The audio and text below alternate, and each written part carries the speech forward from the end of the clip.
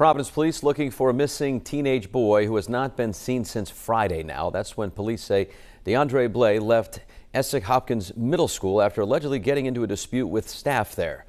Last seen wearing a black hoodie and black sweatpants, he's known to frequent Fillmore Street and other areas of Chad Brown. If you have seen him, you are asked to call Providence Police.